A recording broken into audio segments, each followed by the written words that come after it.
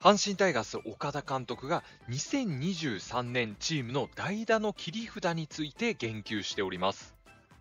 これまで岡田監督、スタメンの野手とか、あとはピッチャーに対してのコメントっていうのは結構多かったんですけれども、代打っていうところに関しましてはかなりコメントが少なかったんですね。なので注目されているんですけど、岡田監督の考える代打の切り札、どんな選手なのか見ていきましょう。2022年の代打打席数トップ3阪神の選手見ていきましょう。打席数最も多かったのがロハス・ジュニア選手です。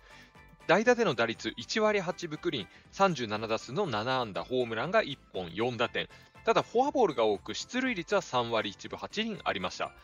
2位が高山選手、2割9分6厘、27打数の8安打、ホームラン0打点0、出塁率3割2分1厘。そして、陽川選手が打率ではトップで4割残しています。20打数8安打のホームラン1本、3打点出塁率に至っては5割ということで、陽川選手が実質代打の切り札と言えるような活躍を見せていました。まあ、ただ、代打で主に起用されたロハス選手、そして陽川選手が2023年からいないということで、代打の切り札が新しく必要になってくる状況でございます。続いて代打で2022年10打席以上立った選手たちを見ていきましょう。2022年代打で阪神タイガース10打席以上立った選手見てみましょう。山本選手16打席でヒット4本、打率2割5分と、こちらはフォアボールの数とかまでは記録が残っていなかったので、ま、代打の打席数とヒットというところを見ていきます。続いて北条選手15打席で4安打、島田選手が14打席で3安打、して糸井選手が13打席の2安打、小野寺選手13打席で2安打、原口選手が12打席で4安打となっておりまして、原口選手がま打率としては一番いい数字が残っていますけれども、ま、なんとなく全体的にやっぱり代打の切り札はこの選手って言えるぐらいの選手っていうのが、ま、なかなか今はいないという状況になっていると思います。では2023年代打候補の選手見ていきましょう。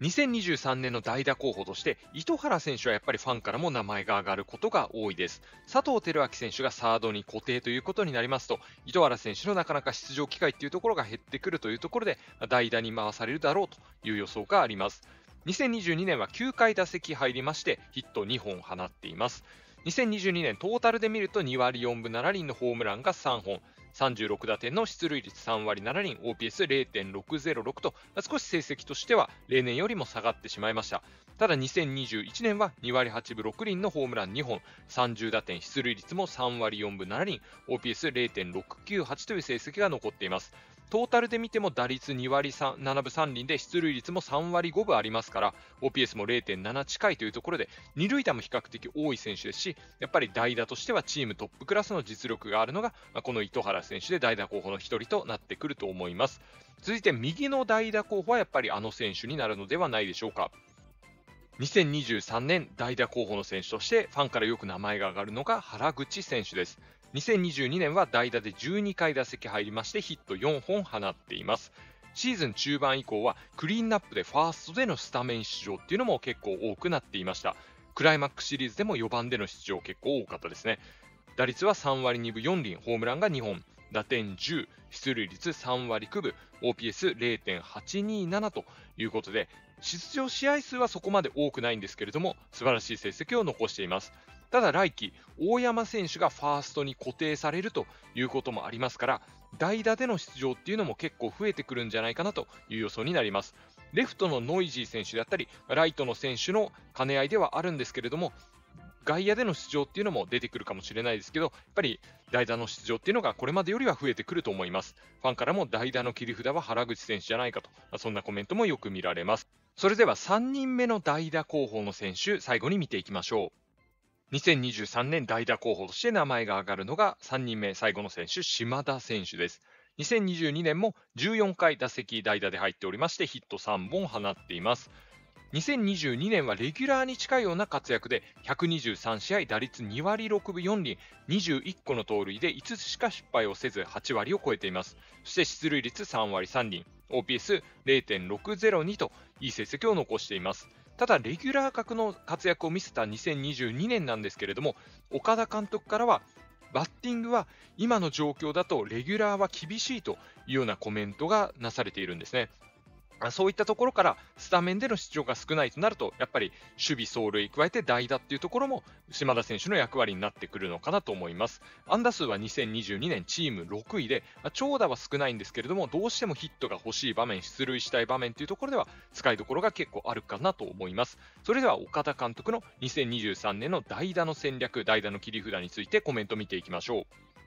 岡田監督の2023年の代打戦略についてコメント見ていきます。質問で原口、糸原あたりは代打の切り札で行くのですかという質問があったわけですね。それに対して代打の切り札というのは最初からそんなん考えないよねないよねというように返答しているんですね。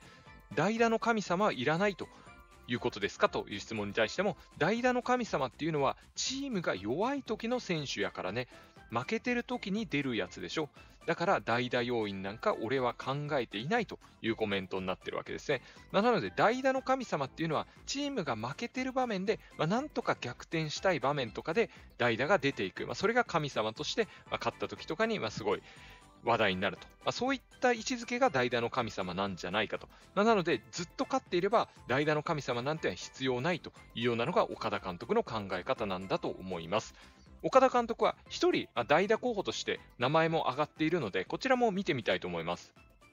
岡田監督から代打候補として名前が挙がった選手見てみましょう。鳥谷さんがライトは森下選手になったりしますかという質問に対しまして、岡田監督は思い切って森下を使ってみてもいいし、もう1人バッティングが良かったのは板山やな。あれ、しかしどこでも守れるなと、バッティングと守備両方ですごく高く評価していることが分かります。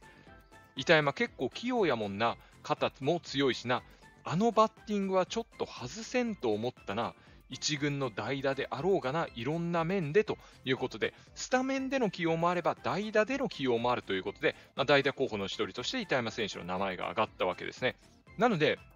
岡田監督の方針としては、この選手は代打の切り札っていうことを先に決めるのではなく、あくまでスタメンを決めて、ベンチに残った選手の中からいい選手を代打で選んでいくと、そういったイメージなのかなという印象を受けます。今回の岡田監督の代打起用の方針についてファンの声見てみましょう。